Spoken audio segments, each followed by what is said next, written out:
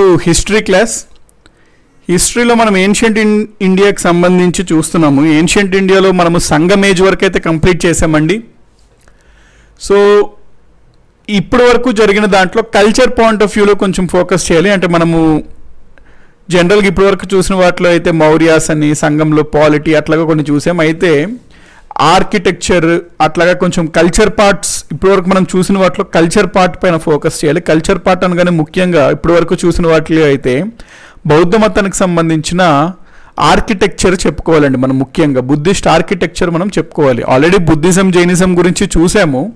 కాకపోతే అది మనము జనరల్ రిలీజియన్ పరంగా అట్లాగా చూసాం. ఇప్పుడు ఆ బౌద్ధ మతం మన భారతదేశానికి కానీ లేకపోతే ప్రపంచానికి కానీ ఎటువంటి కాంట్రిబ్యూషన్స్ అందించింది అని చెప్పాలి అంటే ప్రధానంగా మనం చెప్పేది ఏంటంటే శిల్పకళలో బౌద్ధ మతం చాలా కాంట్రిబ్యూషన్ చేసింది. సో బుద్ధిస్ట్ ఆర్కిటెక్చర్ అనేది ఈరోజు మనం చూద్దామండి. బుద్ధిస్ట్ ఆర్కిటెక్చర్ స్టార్ట్ చేసేద్దాం. సో అందరూ వచ్చేసినట్టే అండి. Yeah good morning everyone of you. Buddhist architecture అండి ఇది కూడా ఇంపార్టెంట్ మనకి. ఇది కొంచెం ఆర్కిటెక్చర్ టైప్లో ఉంటుంది. సో డోంట్ వరీ ఇది మనకి అవగాహన అవసరం. ఎందుకంటే ఎగ్జామినేషన్స్లో వీటిపైన కూడా రిపీట్గా అడుగుతున్నాడండి. బుద్ధిస్ట్ ఆర్కిటెక్చర్కి సంబంధించి. Yeah good morning everyone of you. So అందరూ వచ్చేసినట్టే కండి లెవెన్ కల్లా షార్ప్గా వచ్చేసేయండి. ఎందుకంటే మళ్ళీ మధ్యలో కొంత మిస్ అయ్యి మధ్యలో కొంచెం మా అంటే కొంచెం మిస్ అయినా మధ్యలో కొంచెం కొన్ని మిస్ అవ్వగలుగుతారు. సో ఏది మిస్ అవ్వదు అంటే ఆ లెవెన్ కల్లా షార్ప్గా వచ్చేసేయండి. సో స్టార్ట్ చేసేద్దాం క్లాస్ని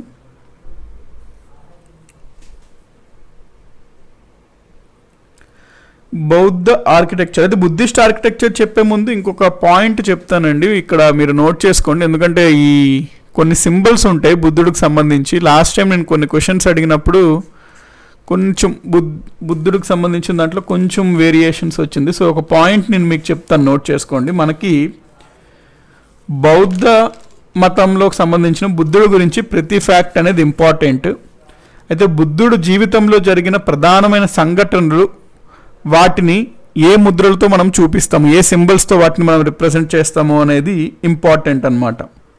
సో ఇప్పుడు మనం చూసుకుంటే బుద్ధాస్ లైఫ్లో కనుక చూసుకున్నట్లయితే బుద్ధుడు జీవితంలో చూసుకున్నట్లయితే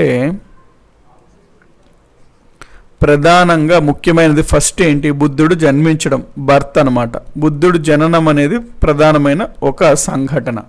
అయితే ఇది దేంతో మనము చూపిస్తాము? దేంతో మనం దీన్ని ఏ సింబల్తో మనము దీన్ని రిప్రజెంట్ చేస్తాము అని ప్రశ్నలు అడుగుతాడు. బుద్ధుడి యొక్క జననం మనము దేంతో రిప్రజెంట్ చేస్తాము అని.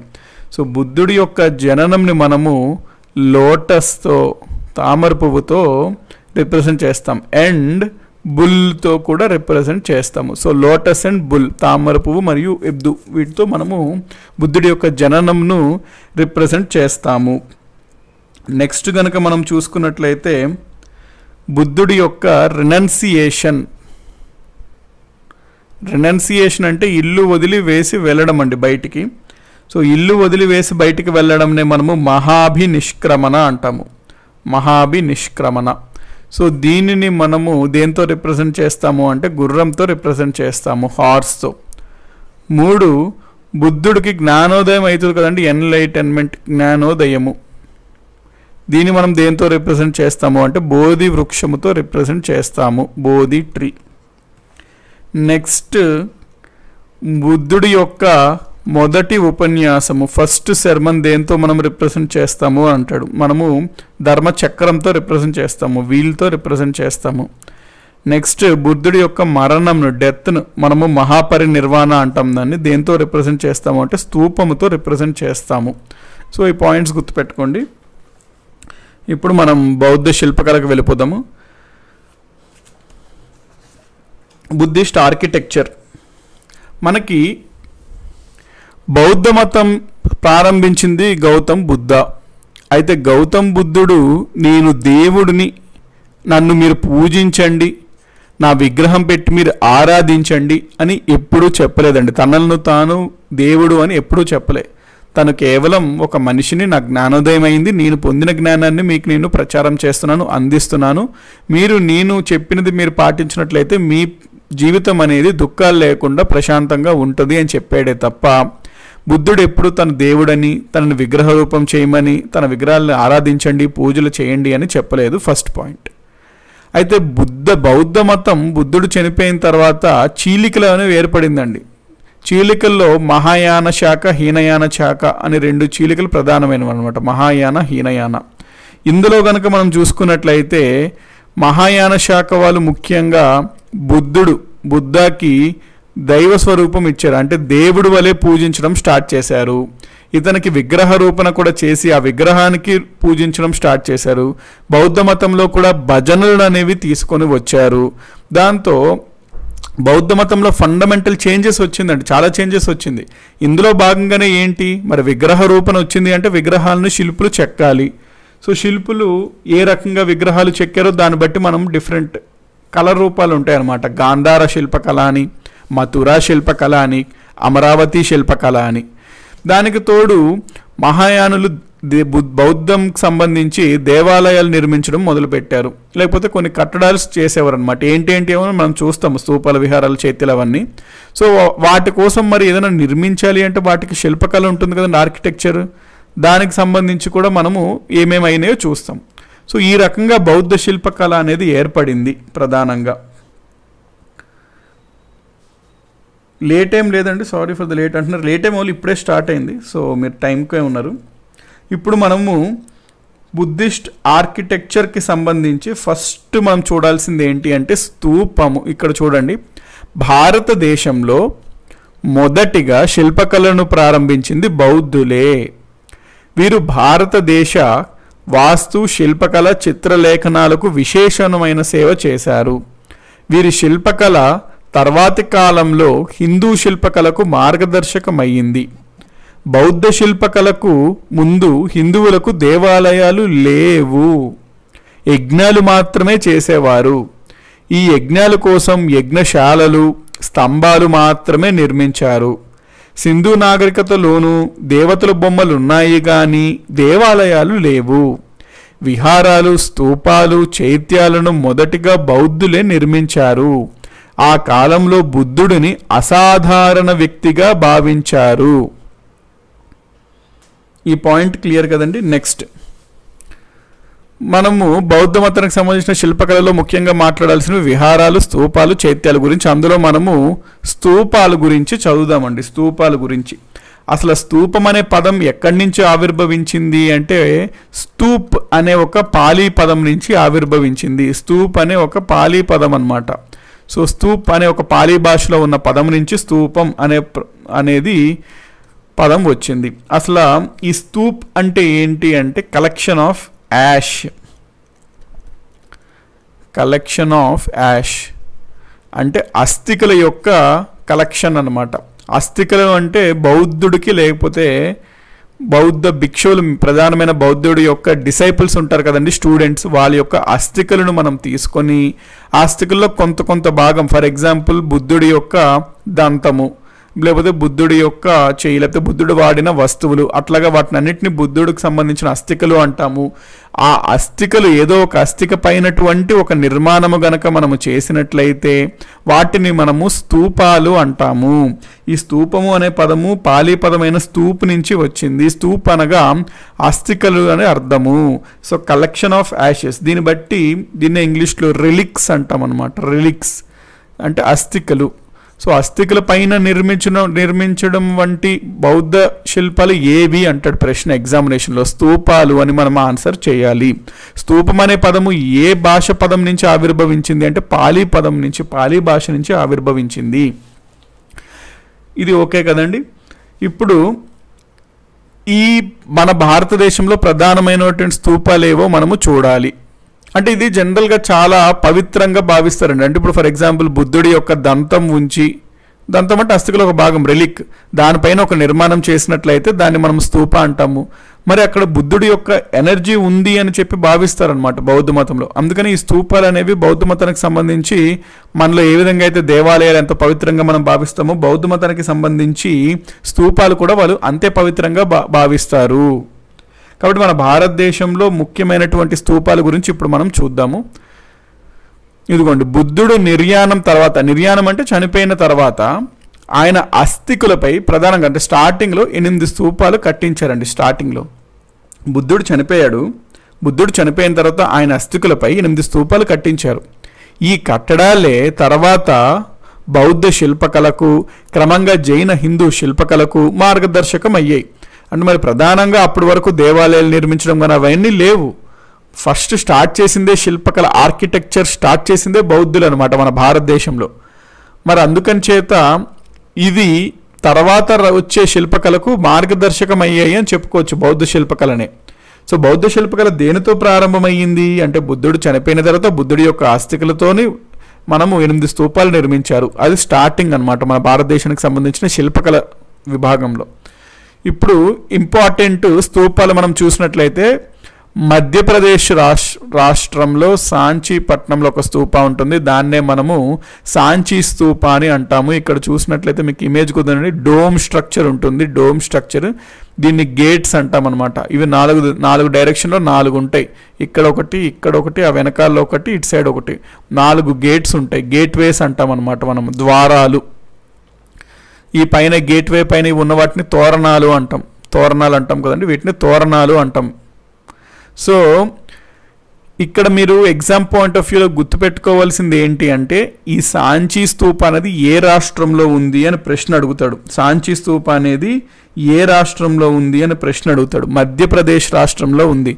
సో స్తూపాలకు సంబంధించి మీరు ఎక్కడన్నా అబ్జర్వ్ చేస్తే ఎక్కడైనా చదువుతున్నప్పుడు ఏదైనా మీకు పలానా స్తూపము అని గనక మీకు ఎగ్జామ్ ఎక్కడైనా కనబడితే బుక్లో ఎగ్జామ్ పాయింట్ ఆఫ్ వ్యూలో మీరు స్టా మీరు గుర్తుంచుకోవాల్సిన లేకపోతే మీరు నోట్ చేసుకోవాల్సిన పాయింట్ ఏంటంటే ఆ స్తూపము ఏ రాష్ట్రంలో ఉంది. ఎగ్జామ్ పాయింట్ ఆఫ్ వ్యూలో అది సరిపోతుందండి. సాంచి స్తూపం పరంగా మాట్లాడినప్పుడు అది మధ్యప్రదేశ్లో ఉంది. నెక్స్ట్ ధమేక్ స్తూప అంటాం సార్నాథ్లో. సార్నాథ్ స్తూప.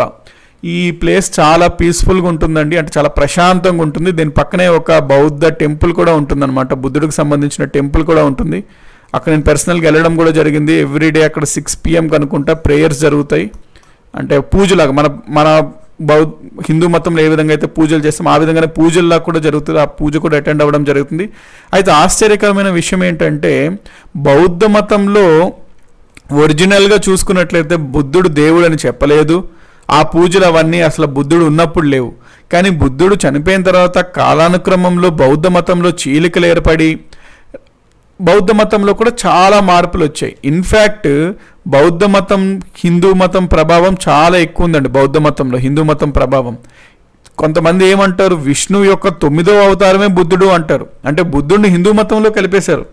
అందుకని హిందూ మతం వెరీ డైనమిక్ అని చెప్పి మనం అంటాం అన్నమాట సో అదేవిధంగా మరి భజనలు మొదలయ్యాయి. మరి పూజలు కూడా మొదలయ్యాయి బౌద్ధ మతంలో సంబంధించి. అక్కడ సిక్స్ పిఎం పూజ రోజు అటెండ్ అయినప్పుడు చాలా ఆశ్చర్యం అనిపించింది. ఆల్మోస్ట్ ఒక హిందూ గుడిలో ఉన్నట్టే ఉండింది. పూజలు కానీ అక్కడ మంత్రాలు కానీ అవన్నీ. కాబట్టి ఇది ఎక్కడ ఉంది? ధమేక్ స్తూప అంటే సారనాథ్లో ఉంది. సారనాథ్ ఏ రాష్ట్రంలో ఉందండి మనకి? ఉత్తరప్రదేశ్ రాష్ట్రంలో ఉంది. ఉత్తర్ ప్రదేశ్ రాష్ట్రంలో ఉంది. సారనాథ్ సార్నాథ్ స్తూప అని కూడా అంటాము. దీన్ని ధమేక్ స్తూప అని కూడా అంటాము. నోట్ చేసుకోండి పాయింట్. నెక్స్ట్. బర్హుత్ స్తూప.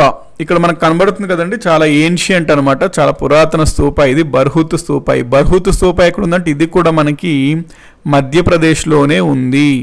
మధ్యప్రదేశ్ రాష్ట్రంలోనే ఉంది బర్హుత్ స్తూప సో స్తూపాకి సంబంధించి మీకు ఎగ్జామ్ పాయింట్ ఆఫ్ వ్యూలో మీరు నోట్ చేసుకోవాల్సింది కేవలం పలానా స్తూప ఏ రాష్ట్రంలో ఉంది. అట్లా కాకుండా ఇంకేదైనా అవసరం అంటే నేను చెప్తాను అండి. ఎవరు నిర్మించారో అట్లాగే నేను చెప్తాను మీకు పాయింట్స్. సో బర్హుత్ స్తూప ఈ పాయింట్ ఓకే కదండి. నెక్స్ట్. పిప్రివాహ స్తూప ఇది కూడా ఇంపార్టెంట్ అనమాట పిప్రివాహ స్తూప పిప్రివాహ స్తూప ఎక్కడుంది అంటే లుంబినీలో ఉంది.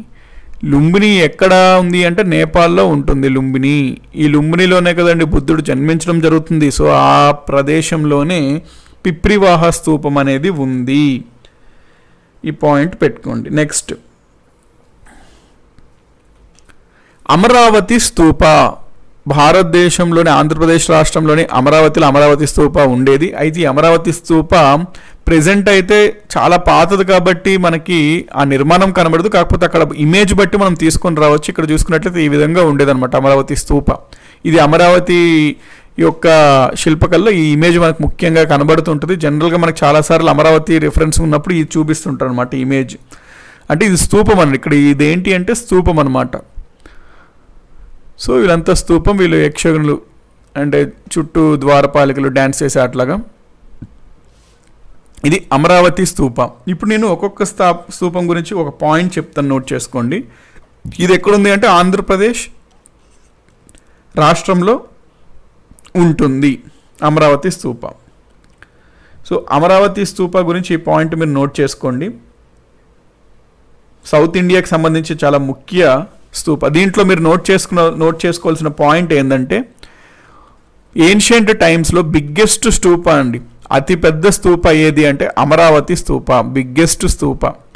ఏన్షియంట్ ఇండియాలో ఏన్షియంట్ టైమ్స్లో అతి పెద్ద స్తూప అనమాట ఇవి వేటికి సూచికలు అని అడుగుతున్నారు? సమ్వన్ ఇవి ఏమి సూచిస్తాయంటే బుద్ధుడి యొక్క అస్థికల పైన ఇది నిర్మాణం జరిగింది అంటే ఎంతో పవిత్రమైన కట్టడాలు అని. మనం ఏ విధంగా అయితే గుడులను చాలా పవిత్రంగా భావిస్తాము హిందూ మతంలో అదే విధంగా బౌద్ధ మతానికి సంబంధించి స్తూపాలు చాలా పవిత్రమైనవి. ఎందుకంటే ఆ స్తూపాల్లో బుద్ధుడి యొక్క అస్థికలు ఉన్నాయంటే ఆ బుద్ధుడి యొక్క ఎనర్జీ చుట్టూ రేడియేట్ అవుతుంది అని భావిస్తుంటారు అనమాట సో ఇది బుద్ధిస్ట్ స్థూప నెక్స్ట్ ఇందులో గుర్తుపెట్టుకోవాల్సిన పాయింట్ ఏంటంటే ఈ అమరావతి స్థూపాన్ని ఎవరు నిర్మించారు ఎవరు కట్టించారు ఏ రాజు అంటే నాగ్ అశోక నాగ్ అశోక అని గుర్తుపెట్టుకోండి. నాగ్ అశోక అనే రాజు ఈ అమరావతి స్థూపాన్ని కట్టించాడు. నెక్స్ట్ పిప్రివాహ స్థూపాకు సంబంధించి ఒక పాయింట్ నోట్ చేసుకోండి.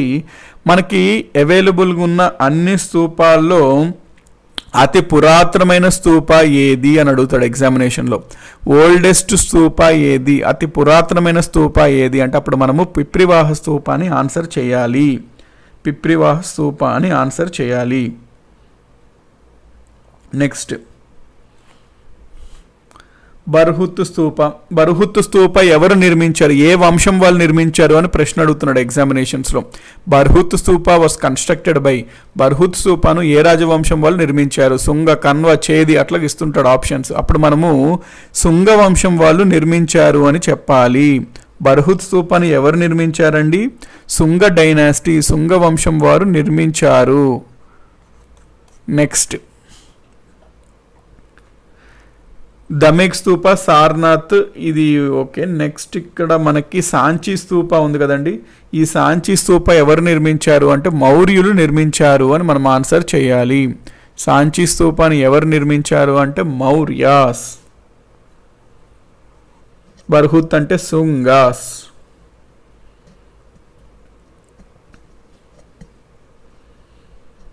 ఇప్పుడు ఓవరాల్గా ప్రపంచంలోనే అతిపెద్ద స్తూప ఏది అని అడిగాడు అనుకోండి ఒకవేళ ప్రశ్న మనకి ప్రపంచంలోనే అతిపెద్ద స్తూప ఏది అట్లాగా అడిగాడు అనుకోండి అంటే బిగ్గెస్ట్ స్తూప ఏది అని అడిగాడు అనుకోండి ఫర్ ఎగ్జాంపుల్ క్వశ్చన్ ఎగ్జామినేషన్లో బిగ్గెస్ట్ స్తూప ఏది అని అడుగుతాడు ఎగ్జామినేషన్ అప్పుడు మీరు ఆన్సర్ ఏం చేయాలి అంటే మనకి జావా ఉంటుంది కదండి. జావా ఐలాండ్స్ ఉంటాయి కదా. ఇండోనేషియాలో జావాలో borrow బుదుర్ stupa. Borrow బుదుర్ బుదర్ stupa. Borrow బుదర్ stupa Java ఐలాండ్స్లో ఉంటుంది. ఆ స్తూప అనేది అతి పెద్ద స్తూపము.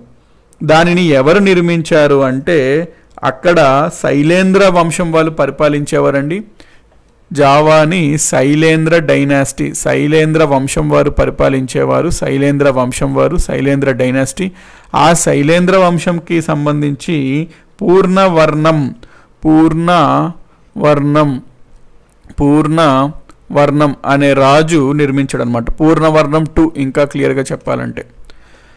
సో ఇతను ఈ బోరోబుదర్ స్తూపాన్ని నిర్మించాడు. సో ఈ పాయింట్ గుర్తుపెట్టుకోండి. శివతేజ గారు అశో సారనాథ్ స్తూప ఎవరు కట్టారు సార్ అంటారు? సారనాథ్ జనరల్గా బుక్స్లో అశోకుడు అని ఇస్తారండి. కాకపోతే మ్యాక్సిమం ఇది అశోకుడు నిర్మించాడు. కాకపోతే కేవలం అశోకుడే కాదు. ఎందుకంటే over the period of time ఇక్కడ మీరు ఈ తోరణాలు చూసుకుంటే వేరే రాజు నిర్మించడం జరుగుతుంది. ఒక్కొక్క తోరణం తోరణం. అట్లాగే డిఫరెంట్ కింగ్స్ అనే కాంట్రిబ్యూషన్ ఉంటుందండి. కానీ ప్రధానంగా మనం అశోకుడు అని చెప్తాం ప్రధానంగా. బట్ అందుకనే జనరల్గా మౌర్యాస్ అని చెప్పి చెప్తామన్నమాట. రాజవంశం వాళ్ళు చెప్పారు అని. బట్ ఓకే మీరు అశోక్ అనొచ్చు. బట్ ఎంటైర్ థింగ్ అశో అశోకుడు కట్టాడు అని మాత్రం మీరు భావించకండి. ప్రధానంగా అశోకుడు నిర్మించడం తీసుకోండి పాయింట్ అంతే. నెక్స్ట్. ఇవి స్తూపాలకు సంబంధించండి. ఇక్కడ చదవండి. బౌద్ధ శిల్పకళ వాస్తు విధానాలను తెలిపే గ్రంథం ఏది అని అడుగుతాడు ఎగ్జామినేషన్స్లో.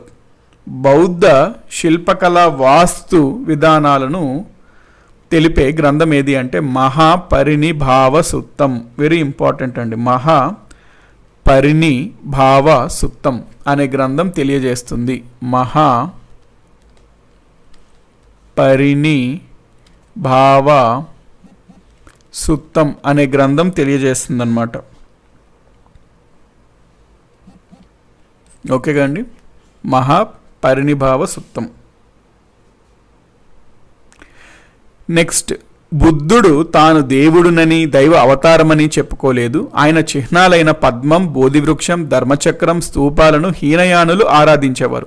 అయితే ఈ పాయింట్ ఇక్కడ మీరు నోట్ చేసుకోవాలండి. ఏంటి పాయింట్? మనకి బౌద్ధ మతంలో హీనయానం ఉండేది కదండి. హీనయానులు ఏం చేసేవారు అంటే వీళ్ళు ఆరాధించేవారు. ఏ వేటిని ఆరాధించేవారు అంటే బుద్ధుడిని విగ్రహ రూపంలో పెట్టి కాదు. కాకపోతే ఈ చిహ్నాలు మీకు నేను స్టార్టింగ్లో చెప్పానే చిహ్నాలు అని ఆ చిహ్నాలను పద్మం అవ్వచ్చు లేకపోతే గురుం అవ్వచ్చు లేకపోతే స్థూపాలు స్తూపాలు అవ్వచ్చు వాటిని చిహ్నాలుగా పెట్టుకొని వాటిని ఆరాధించేవారు ఎవరు? హీనయాన బౌద్ధులు. ఈ పాయింట్ నోట్ చేసుకోండి.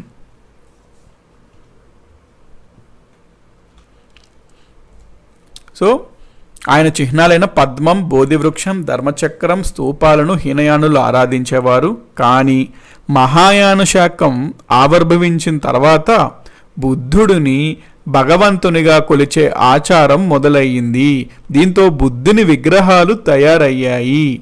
సో ఇక్కడ ఈ పాయింట్ వెరీ ఇంపార్టెంట్ అండి. బుద్ధుడు విగ్రహాలు తయారయ్యాయి అన్నామే ఈ పాయింట్ చాలా ఇంపార్టెంట్ అనమాట ఎందుకంటే మన హిస్టరీలో నెక్స్ట్ క్లాస్ ఏదైతే ఉంటుందో దీన్ని బేస్ చేసుకునే ఉంటుంది. బుద్ధుడు విగ్రహాలు అంటే బుద్ధాస్ ఇమేజెస్ బుద్ధుడు విగ్రహాలు మన భారతదేశంలో ఒక్కొక్క ప్రాంతంలో ఒక్కొక్కరు ఒక్కొక్కలాగా నిర్మించేవారు. అంటే ఒక్కొక్క ప్రాంతంలో నిర్మించిన బుద్ధుడి యొక్క ఇమేజెస్ ఏదైతే ఉందో విగ్రహాలు ఏవైతే ఉన్నాయో ఆ ప్రాంతానికి సంబంధించి పరిపాలిస్తున్న ప్రజలు ప్లస్ అంటే అక్కడ ఉంటున్న ప్రజలు ప్లస్ పరిపాలిస్తున్న పాలకులు వాళ్ళ ఇద్దరి ఇన్ఫ్లుయెన్స్లు అయ్యి ఒక యూనిక్గా ఏర్పడిందండి. ఫర్ ఎగ్జాంపుల్ మనకి ఇండియాలో చూసుకుంటే నార్త్ వెస్ట్ వాయువ భారతదేశంలో చూసుకున్నట్లయితే అక్కడ ప్రజలు అక్కడ పాలించే గ్రీక్స్ వాళ్ళు పాలించేవారు ఫారిన్ రేసెస్ సో అక్కడ ఏర్పడిన బుద్ధుడి విగ్రహాలు ఒక రకమైన స్టైల్లో ఉండేవి. మథురాలో ఒక రకమైన స్టైల్ ఉండేవి. మన సౌత్ ఇండియా చూసుకుంటే అమరావతిలో ఒక స్టైల్ ఆఫ్ ఉండేవి. సో నెక్స్ట్ క్లాస్లో మనం చూసేది ఇదే అనమాట బుద్ధుడి యొక్క విగ్రహాలు ఏ స్టైల్లో శిల్పకళ అనేది అయిందని. కాబట్టి దీంతో బుద్ధుని విగ్రహాలు తయారయ్యాయి. హీనయాన కాలంలో బౌద్ధులు ప్రార్థన చేసే చైత్యాలు ఏవైతే ఉన్నాయో అవి మహాయానుల కాలంలో బుద్ధుని దేవాలయాలుగా మార్చబడ్డాయి. ప్లస్ దేవాలయాలుగా మార్చబడి ఆ దేవాలయాల్లో బుద్ధుడి విగ్రహాలు కూడా ప్రతిష్ఠింపబడ్డాయి.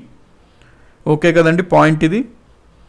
సో ఇప్పుడు మనము చైత్యాల గురించి చూద్దాము. చైత్యాల గురించి ఇక్కడ ఏమిచ్చాడు చైత్యాల గురించి పాయింట్? హీనయాన కాలంలో బౌద్ధులు ప్రార్థన చేసే చైత్యాలను మహాయానులు బుద్ధుని దేవాలయాలుగా మార్చి ఆయన విగ్రహాలు ప్రతిష్ఠించారు. సో ఇప్పుడు మనం చూసేది చైత్యాస్ గురించి. చైత్యాస్ అంటే ఏం లేవండి. అప్పుడులో బౌద్ధ సన్యాసులు ఉండేవారు కదా బౌద్ధ భిక్షువులు ఉండేవారు కదా. మరి ఆ బౌద్ధ భిక్షువులు మనకి ట్రావెల్ చేస్తూ ఉండేవారు సంచరిస్తూ ఉండేవారు బౌద్ధ మతాన్ని ప్రచారిస్తూ ఉండేవారు. మరి వాళ్ళు దారిలో వాళ్ళకి కొన్ని ప్రేయర్ హాల్స్ కావాలి కదండి. ఎందుకంటే వాళ్ళు బౌద్ధ మతంలో ప్రధానంగా వాళ్ళు ప్రతిపోదించేది ఏంటి అంటే మెడిటేషన్ ధ్యానము అవన్నీ. మరి వాళ్ళు ధ్యానం చేయడానికి వాళ్ళు ప్రేయర్ చేయడానికి ఒక హాల్స్ ఉండాలి కాబట్టి ఆ మండపాలు ఉండాలి కాబట్టి వాళ్ళు మండపాలు నిర్మించుకునేవారు. కాబట్టి ఇక్కడ ఆ పాయింటే అంటున్నాడు. బౌద్ధులు అంటే బౌద్ధులు ప్రార్థన చేసే చైత్యాలు. అంటే ఇది ప్రార్థన మందిరాలు అని చెప్పొచ్చు మనము. ప్రార్థన మందిరాలు అని చెప్పొచ్చు. సో ప్రార్థన చేయడానికి మందిరాలు అని కూడా అనకుండా ఉండొచ్చు అండి ఎందుకంటే అవి టెంపుల్స్ కాదనమాట. టెక్నికలీ స్పీకింగ్ అవి జస్ట్ ప్రార్థన హాల్స్ అనమాట. Just are prayer halls. So వాళ్ళు ధ్యానం చేసుకోవడానికి వాళ్ళు ప్రార్థన చేసుకోవడానికి ఒక ప్రార్థన హాల్స్ ప్రేయర్ హాల్స్ అనేవి నిర్మించేవారు బౌద్ధ చే సన్యాసులు. వాటినే మనము చైత్యాస్ అంటాము. సో వాటినే మనము చైత్యాస్ అంటాము. సింపుల్గా చెప్పాలంటే వీటిని బౌద్ధ మతం యొక్క రెస్ట్ హౌసెస్ ఎస్ ప్రసాద్ గారు అన్నట్టు రెస్ట్ హౌసెస్ అని చెప్పొచ్చు. వాళ్ళు సేద తీరడానికి ఏర్పడిన రెస్ట్ హౌసెస్ అన్నమాట. అంటే రెస్ట్ హౌసెస్ యాక్చువల్లీ విహారాస్ అని చెప్తామండి. కాకపోతే ఇక్కడ కూడా ప్రార్థన చైత్యాలకు వచ్చేసరికి ప్రధానంగా ప్రార్థన హాల్స్ రెస్ట్ హౌస్లు జనరల్గా విహారాస్. కాకపోతే ఇక్కడ కూడా ఒకవేళ విహారాస్ లేని చోట చైత్యాస్లో కూడా రెస్ట్ తీసుకోవడం జరిగేది. కానీ ప్రధానంగా viharas and rest houses chaityas ఏముందంటే ప్రార్థనా మందిరాలు. మనము ఇప్పుడు ఇంపార్టెంట్ చైత్యాస్ గురించి చూద్దాము. కార్లే చైత్య. కార్లే చైత్య అనేది భారతదేశంలో ఇంపార్టెంట్ చైత్యాల గ్రంథంగా చూసుకున్నట్లయితే కార్లే చైత్య ఉంది కదండి. ఇది మహారాష్ట్రలో ఉంటుంది. ఎస్ పద్మిని గారు ప్రార్థనా భవనాలు అన్నారు రైట్? ఇది మహారాష్ట్రలో ఉంటుంది. లోనావాలా ప్రాంతంలో ఉంటుందండి.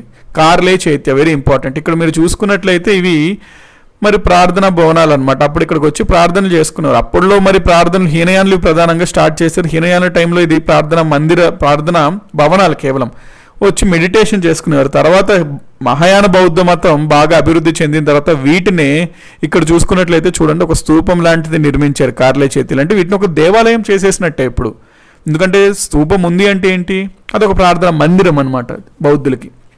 కాబట్టి స్టార్టింగ్లో కేవలం ఇవి చైత్యాలే ఉండేవి. మ- మహాయాన బౌద్ధ మతం వాళ్ళు వీటిని దేవాలయాలుగా కూడా తీర్చిదిద్దారు. కార్లే చైతే ఎక్కడ ఉంది అని అడుగుతాడు ప్రశ్న. మహారాష్ట్రలో ఉంది అని చెప్పి ఆన్సర్ చేయాలి. నెక్స్ట్ నాసిక్ చైత్య పేరులోనే ఉంది కదా నాసిక్లో ఉంది. అయితే ఇవి వీటిని ప్రధానంగా గుహలలో కేవ్స్లో గుహలలో కేవ్స్లో వీటిని నిర్మించేవారండి ఎక్కువగా. సో చైత్యాస్ అనేవి. విహారాస్ ఏమైనా కేవ్స్లో అప్పుడు ప్రధానంగా నిర్మించేవారు అనమాట ఇది నాసిక్ చైత్య ఇది ఒక గుహలో నాసిక్ గుహలో ఉంటాయి. నాసిక్ కేవ్స్ అని ఆ నాసిక్ కేవ్స్లో నిర్మించబడ్డాయి అనమాట వీటిని. ఎక్కడుందంటే నాసిక్లో ఉంది మహారాష్ట్ర స్టేట్. నెక్స్ట్ భజ చైత్య ఇది కూడా ఇంపార్టెంట్ అండి. భజ చైత్య కూడా మనకి మహారాష్ట్రలోనే ఉంటుంది. భజ చైత్య ఓకే కండి. ఈ పాయింట్ నోట్ చేసుకోండి. ఇది కూడా గుహల్లోనే భజ కేవ్స్ అని ఉంటాయి. ఆ కేవ్స్లోనే ఇది నిర్మించడం జరిగింది.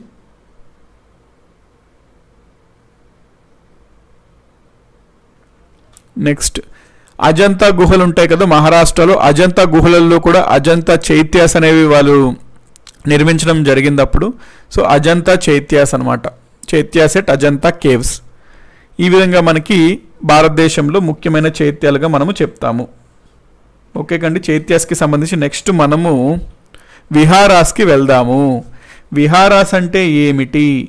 విహారాస్ అంటే ఇవి బౌద్ధ మతానికి సంబంధించిన బౌద్ధ సన్యాసులు ఉంటారు కదా వాళ్ళ యొక్క సేద తీరడం కోసం రెస్ట్ హౌసెస్ అంటే ఇప్పుడు ఫర్ ఎగ్జాంపుల్ బౌద్ధ మతానికి సంబంధించిన బౌద్ధ భిక్షువులు మూడు నాలుగు ఆరు ఐదు ఆరు నెలలు కంటిన్యూస్గా వీళ్ళు ప్రచారం చేస్తూ సంచరిస్తూ ఉంటుంటారు. మరి ఆ కాలంలో వర్షాలు వస్తుంటాయి లేకపోతే తీవ్రమైన ఎండ ఉంటుంది లేకపోతే రాత్రిపూట వీళ్ళు సేద తీరాలి. మరి వాటన్నిటి కోసం ఒక విశ్రాంతి గదులు అవసరం కదండి. రెస్ట్ హౌసెస్ అవసరం కదా. మరి వాటి కోసం బౌద్ధ సన్యాసులు రెస్ట్ తీసుకోవడానికి విశ్రాంతి తీసుకోవడానికి ఏర్పాటు చేసిన విశ్రాంతి భవనాలనే మనము విహారాస్ అంటాము.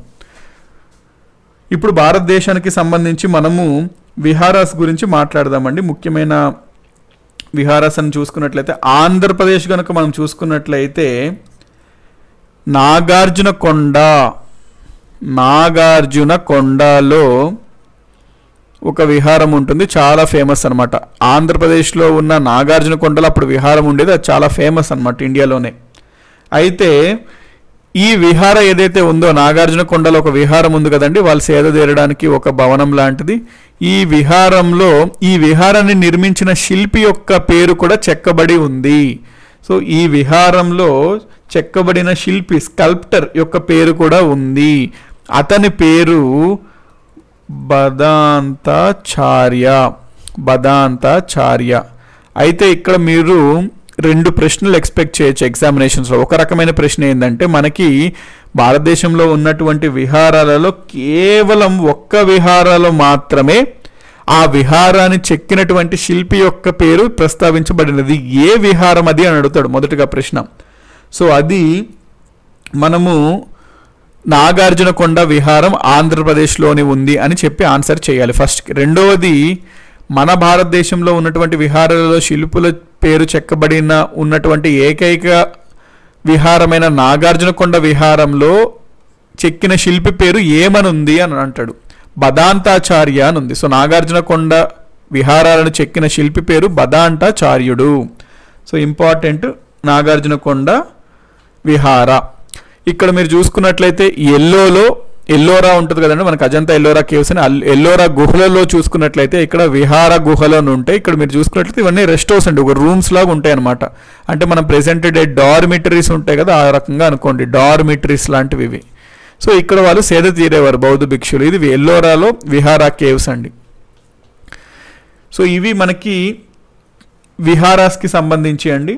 దీంతో మనం ఈరోజు బౌద్ధ మతానికి సంబంధించి ఆర్కిటెక్చర్కి సంబంధించి ఏ విధంగా అసలు బౌద్ధ మతం ఆర్కిటెక్చర్ అనేది స్టార్ట్ అయ్యింది దానికి గల కారణాలు ఏంటి ఏ రకంగా మార్గదర్శకం అయినాయి తర్వాత వచ్చిన హిందూ ఆర్కిటెక్చర్కి కానీ లేకపోతే జైన శిల్పకళకు కానీ ఏ విధంగా ఇవి మార్గదర్శకమైందో చూసాము. సో ప్రధానంగా బౌద్ధ మతంకి సంబంధించిన బుద్ధుడి జీవితానికి సంబంధించిన ముఖ్యమైన నాలుగు సంఘటనల యొక్క సింబల్స్ గురించి చూసాము దేంతో రిప్రజెంట్ చేస్తాము. సో బౌద్ధ శిల్పకళలో ముఖ్యంగా మనం ఏమంటాము స్తూపుల గురించి మాట్లాడతాం. స్తూప అంటే ఏంటి? భారతదేశంలో ముఖ్యమైన స్తూపాల గురించి చూసాము. తర్వాత చైత్యాలు అంటే ఏంటి? ప్రార్థన ప్రార్థనా మండపాలు అని చెప్పి ఇంపార్టెంట్ మన భారతదేశంలో ఉన్న స్థాయి చైత్యాస్ గురించి చూసాము. దాని తర్వాత విహారాలు అంటే ఏంటి? విహారాల గురించి ఒక ఫ్యూ ఒక వన్ ఆర్ టూ పాయింట్స్ అనేది చూసాము. దీంతో మనకి బుద్ధిస్ట్ ఆర్కిటెక్చర్కి సంబంధించి ఇవి అయిందండి నెక్స్ట్ మనము బౌద్ధ ఇమేజెస్ అంటే బుద్ధుడి యొక్క విగ్రహాలు బుద్ధాస్ ఇమేజెస్ చెక్కబడి ఉన్నాయి స్టార్ట్ అయ్యాయి అన్నాం కదండి. ఎందుకు? మహాయాన వాళ్ళు దేవాలయాలు నిర్మించారు. మరి ఆ దేవాలయాల్లో ఆరాధన కోసం బౌద్ధుడి యొక్క విగ్రహాలు నిర్మించేవారు. ఆ విగ్రహాలు మరి కట్టాలి విగ్రహాలని మనము శిల్పాలు తయారు చేయాలి శిల్పులు అన్నప్పుడు ఇది ఏ ప్రాంతంలో అయితే శిల్పులు తయారు చేస్తారో ఆ విగ్రహాలు దాన్ని బట్టి మనము ప్రధానంగా త్రీ స్కూల్స్ చెప్తాం. ఒకటి గాంధార శిల్పకళ అంటాం. Gandhara school of art Gandhara శిల్పకళ అంటాము.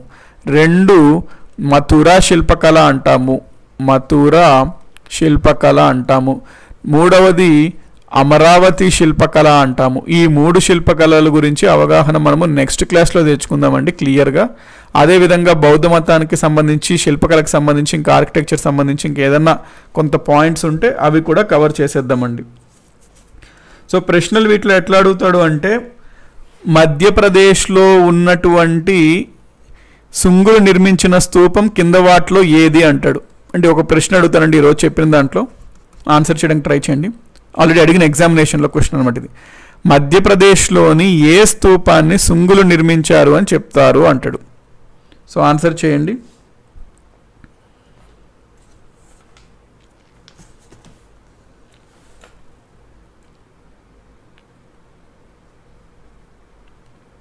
మధ్యప్రదేశ్లో ఉన్నటువంటి ఏ స్తూపాన్ని సుంగులు నిర్మించారు అని ప్రశ్న అడుగుతుంటాడు అనమాట ఎస్ బహ్రూత్ uh, అన్నట్టు అన్నారు. Very good someone asking Avinash Boina గారు అడుగుతున్నారు. సార్ అసలు మహాయాన హీనయానకి డిఫరెన్స్ ఏంటి సార్ అని అడుగుతున్నారు.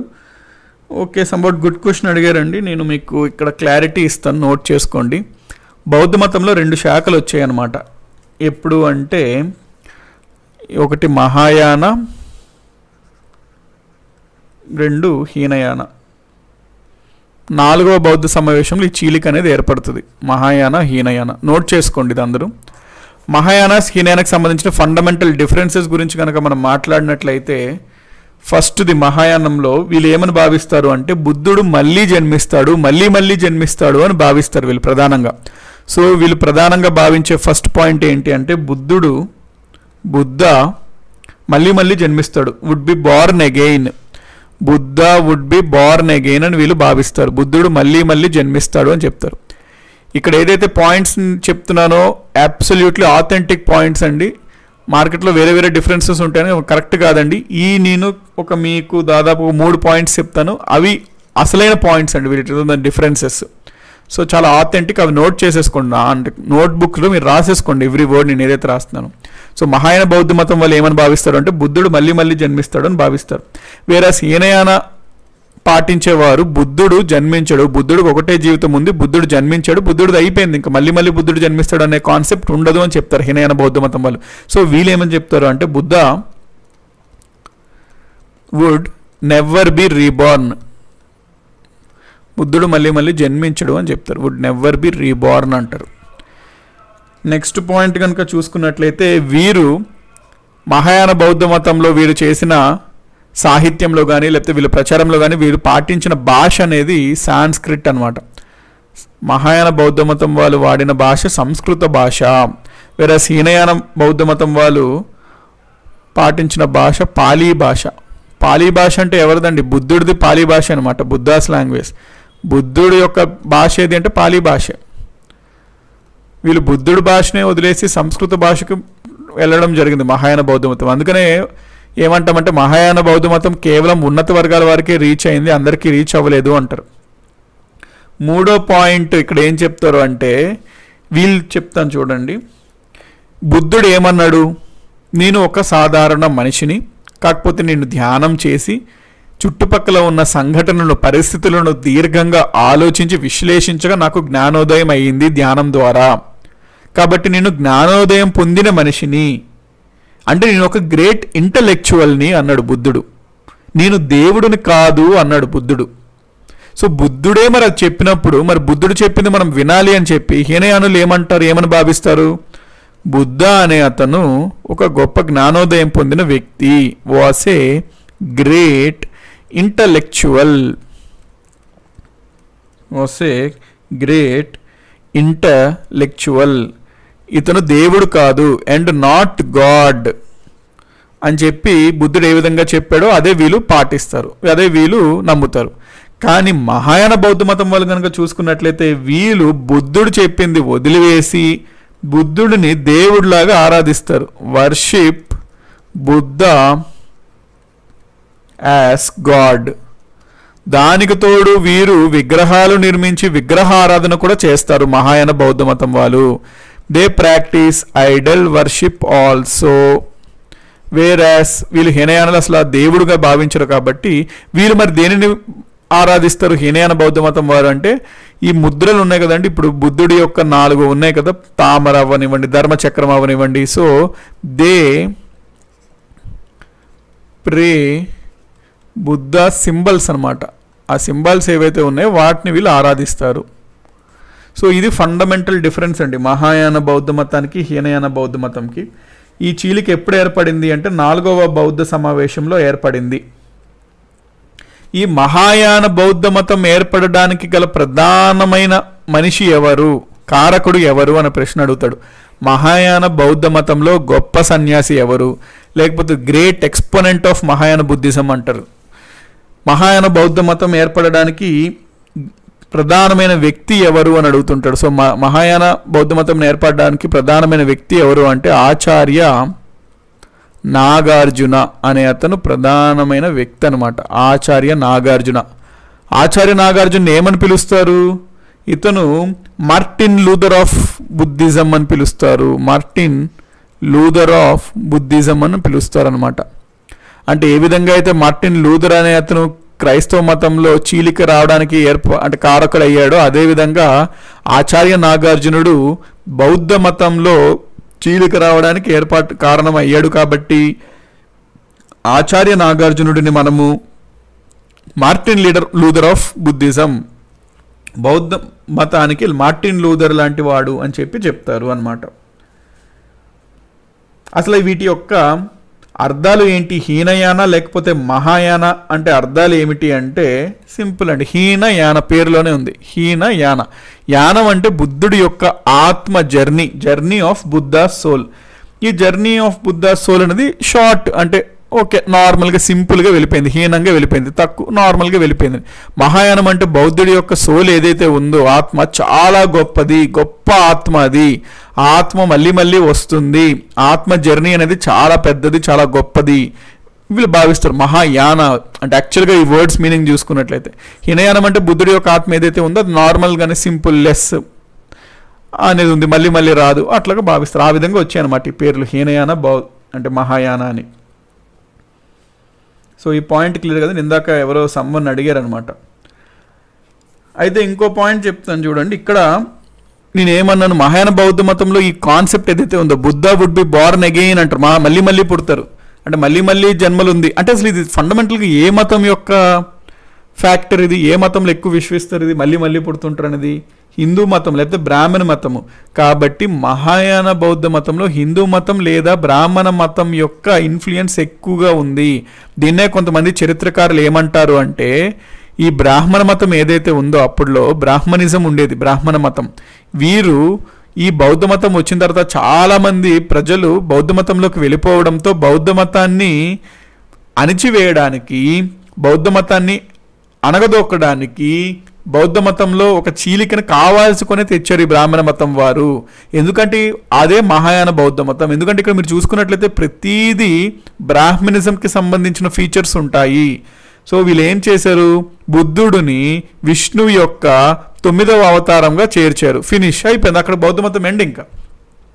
బుద్ధుడు అంత చెప్పి అంత చేసుకుని అంత తీసుకెళ్ళాక అదొక మతంగా ఏర్పడిన తర్వాత సింపుల్గా ఒక్క మాటతో వీళ్ళు తేల్చేశారు. బ్రాహ్మణ మతం వాళ్ళు ఏమని? బుద్ధుడు తొమ్మిదవ అవతారం విష్ణువుది అయిపోయింది. ఇంక బుద్ధ బౌద్ధుడు మతం హిందువులో కలిసిపోయింది. ఇంకేముంది? మొత్తం బౌద్ధ మతం అంతా హిందూలో కలిసిపోయింది. ఎప్పుడైతే హిందూ మతంలో కలిపేశారో ఇంక ఇమీడియట్లీ భజనలు దండ వేస్తారనమాట ఫస్ట్ ఒక దండ వేసేస్తారు.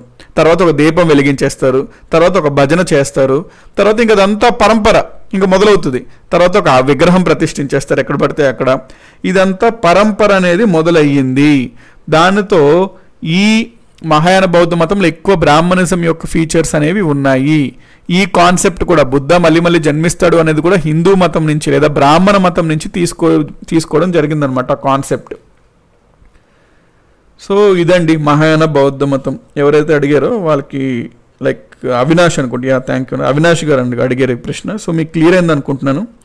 మహాయాన అంటే ఎందుకంటే ఫండమెంటల్గా తెలియాలండి మనకి. మార్కెట్లో రకరకాల ఏవో చెప్తుంటారు అవి authentic this is the authentic one అనమాట సో థ్యాంక్ యూ అండి. మనం మళ్ళీ రేపు సేమ్ టైమింగ్స్ టెన్ ఓ క్లాక్కి మార్నింగ్ కలుద్దాం. రేపు మనకి టెన్కి జాగ్రఫీ ఉంటుంది టెన్ టు టెన్ థర్టీ అదేవిధంగా లెవెన్కి మనకి పాలిటీ ఉంటుంది. ఇవన్నీ ఇంపార్టెంట్ అండి. సో ఇవన్నీ ఎఫర్ట్స్ తీసుకొని చేస్తున్నాం. Only thing I expect from you guys like చేస్తుండండి. So that I would be happy నా ఎఫర్ట్స్ మీరు గుర్తించారు అని నేను చెప్పి భావిస్తాను. So I expect you to like guys thank you అండి ఎవ్రీ వన్ ఎందుకంటే చాలా ఎఫర్ట్స్ తీసుకొని వస్తుంది. ఇంకా మేము మీకు బెస్ట్ ఏ విధంగా ఇవ్వాలి అని చెప్పి మేము ప్లాన్ చేస్తుంటామండి. మీ దగ్గర నుంచి ఎటువంటిది మేము like only thing we expect ఏంటంటే లైక్ షేర్ కూడా చేస్తున్నాడు ఎక్కువ మందికి రీచ్ అయ్యేటట్టు. ఎందుకు అంటే చాలా బెనిఫిట్ ఉంటుందండి. ఏదైతే ఇస్తున్నామో చాలా ఆథెంటిక్ ఇవన్నమాట ఇస్తున్నవి. అంటే వీటి కోసం మెటీరియల్ తయారు చేసి స్పష్టమైన ఆథెంటిక్ ఇన్ఫర్మేషన్ ఇచ్చి మీకు ఇవ్వడం. So we are taking lot of efforts so ఇవన్నీ మీరు నోట్ చేసుకోండి. అంటే ఒక నోట్స్లో చేసుకొని రివైజ్ చేస్తుండండి. అప్పుడే మీరు నేను చేసిన ఎఫర్ట్స్కి మీ దగ్గర నుంచి కూడా మంచి అంటే రెసిప్రొకసిటీ ఉంది అని నేను భావిస్తాను. ఎట్లా క్విజ్లో మీరైతే బాగా ఆన్సర్ చేస్తున్నారు that is the thing which is appreciable అనమాట అది మీరు డైలీ కంటిన్యూ చేయండి. సో రేపు మనకి జాగ్రఫీ ఇంకా పాలిటీ ఉంటుంది. At the same time last ఎక్కడైతే ఆగామో అక్కడ కంటిన్యూ చేద్దాం. మోస్ట్లీ జాగ్రఫీలో భూకంపాలు అక్కడ ఉంది కదా అది కంటిన్యూ చేస్తాం. పాలిటీలో కేంద్ర ప్రభుత్వం గురించి చూస్తాము.